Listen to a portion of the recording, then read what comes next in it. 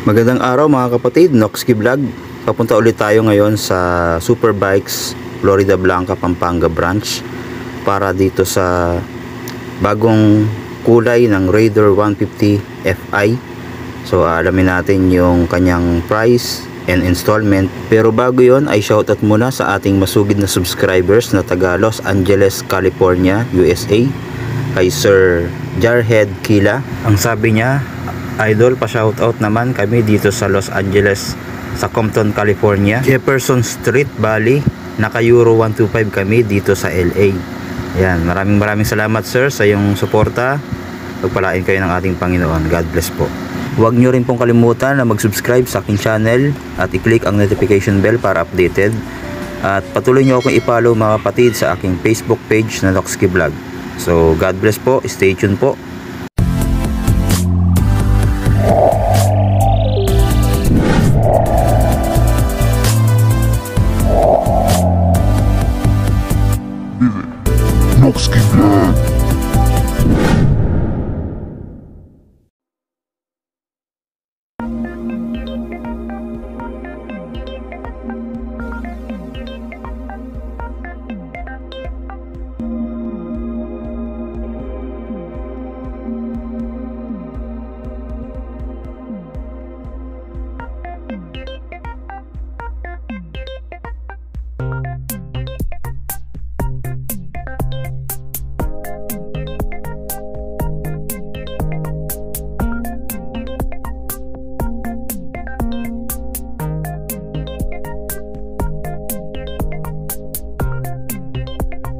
Nandito tayo ngayon sa Superbikes Florida Blanca Pampanga branch para dito sa bagong-bagong Raider 150 Fi na nilabas ngayong 2023 no.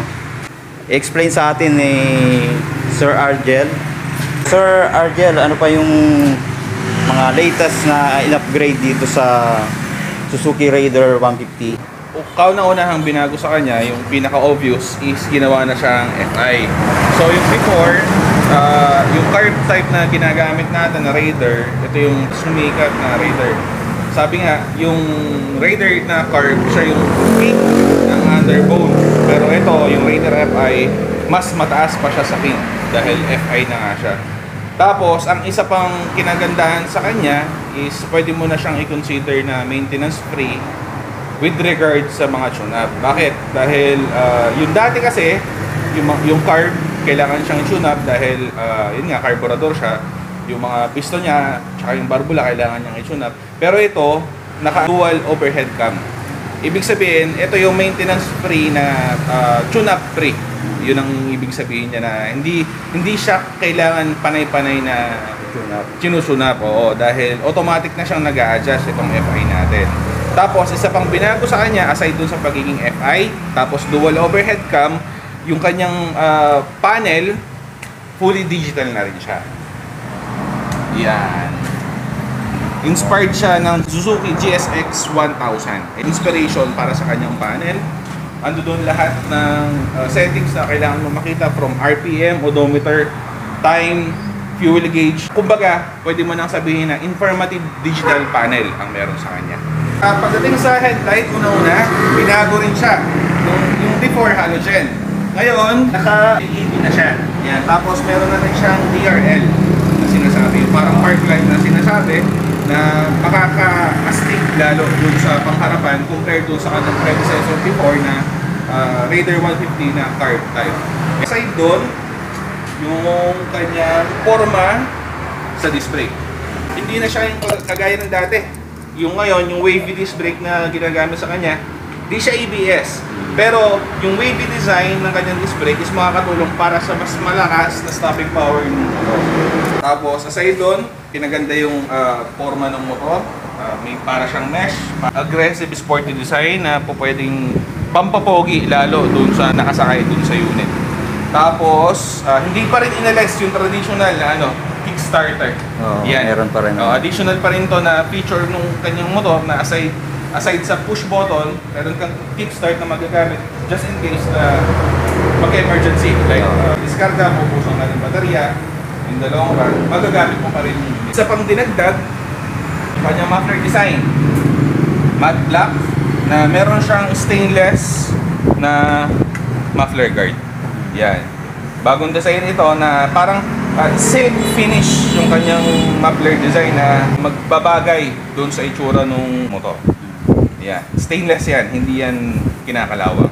Ngayon, dahil FI siya, uh, pwede mo na i-consider na 50 50 kilometers per liter Oh, ayun, ah, napakatipid na nito. Tipid. Oo. Kahit 150cc siya, matipid pa rin gas. Yes, ano? yes. Tapos hindi pa rin nawawala yung titulo nito, yung title nito sa market na yung Raider talaga is yung king ng underbone. So, Yun, talaga bagay yun. na bagay talaga to sa lahat ng ano.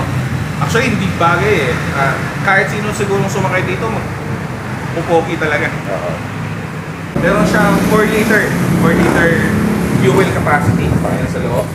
Tignan natin yung loob. Yan. Yung kanyang loob, ah, kagaya din ng kanyang predecessor, wala siyang compartment sa loob, wala kang ibang paglalagyan, pero yung slick design, malinis. Ah, Malinis dito siya. yung battery pala niya. Ah, dito yung battery yan. Tapos, yung mga fuse niya, dito na rin, accessible if ever na magkaroon ka ng trouble, yung fuse niya, hindi mo na susukitin sa ilalim, hindi dito lang siya. Yan, yung mga fuse niya. So, ngayon sir, Hmm. na-explain nyo na sa mga viewers natin yung features nito. Kung magkano yung cash and installment dito sa branch nyo. Oo. Bali ngayon, itong uh, aking Raider FI, nagkakahalaga siya ng 116,400 na SRP, kung ikapash mo siya. Tapos, kung kukunin mo naman siya ng installment, meron siyang down payment na 6,000 pesos. Uy, mababa lang Oo, yung down baba, payment. Ano? ah, dahil, uh, syempre, superbikes tayo eh. Oo. Tapos, ito yung kanyang magiging monthly. Ito, i-lagay na natin dito. Sige sir. Yan, 5,445. Yan. Yan ang kanyang monthly.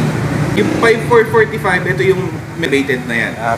Tapos, pumapalo na lang siya ng 176 per 76. day. So, kung isa kang commuter na gumagastos ng 150 to 200 na, na pamasahe, tama-tama yung motor na to. Sa mga magtatanong, mas maganda mag-inquire na lang kayo dito para mas ma-assist kayo ni Oo, kasi Sir. aside kasi dun sa 6,000 na down payment na promo natin, pwede ka pang magtaas ng down payment na pwede mas bumaba yung kanyang monthly. Yun. Para 3 years, 2 years, saka sa 18 months. Baga ito yung pinaka Standard. standard lang Oo, na standard na down payment. down payment. So, ayan po mga kapatid, yung ating nakita dito na bagong-bagong Raider FI. Ayan yung kulay niya, yung kanyang mugs ay kulay gold. Ganon din yung ah, mga decals niya dito. May pagka-gold na kulay. Tapos combination naman ng white and black. So, ayan po. Pinaka-importante at pinaka-advanced na ginawa sa Raider FI is yung kanyang dual overhead cam. Yun. Ito yung pinaka-importante kasi sa dual overhead cam, ito yung ah, hindi mo naiintindihin yung ah, yung maintenance o Oo. yung tune-up na sinasabi. Ah, isang magandang example, ah, ah, New Year. New Year, madalas ang ginagamit natin ng pampaingay is muffler, di ba? Tapos yung old school na ginagamit natin is yung mga radar car na after talaga ng New Year kailangan mong ipa-maintenance. Pero dito, dahil naka-dual overhead cam siya, kahit gamitin mo siya sa New Year, na mag- magpaingay ka, naka-muffler ka, hindi mo naiintindihin yun dahil mag-isa na mag adjust yung unit na to dun yun. sa kanyang takbo. Yun yung pinaka ano sa kanya, pinaka Para din- breaking point. Para ding mga big bike ang Oo, dating ano. yan. Yes.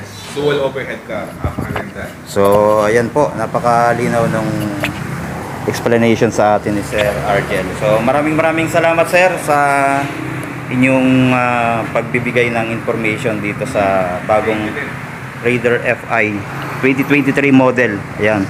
So, sa mga gustong kumuha, available yan dito sa ah, Superbikes Florida Blanca, Pampanga branch. So, hanapin nyo na lang si Sir Argel sa pag-assist. Ah, tutulungan niya kayo na anytime. ano. So, mga ilang araw ba sir ma maka-release yung motor na yan pag halimbawa may nag Ay, one day Apply. practice lang yan. Oh, ayun. Narinig nyo mga kapatid, no? One day process lang kung kumpleto tayo ng requirements at andyan na yung down payment natin. One day lang, marirelease na agad. Apply mo motor. yung umaga. So, kahit naman ang requirements. Same day, pwede mong ilabas. Oo. Hindi lang dito sa Raider FI, sa lahat ng Sa lahat motor. ng unit, oo. Okay. Ayun, so napakalinaw mga kapatid. So, yan lang po yung ating maikling review dito sa motor na to. Maraming maraming salamat sa panonood. Maraming maraming salamat din Sir Argel sa pag-unlock niyo sa akin. No? So yun lang po mga kapatid. God bless po sa ating lahat.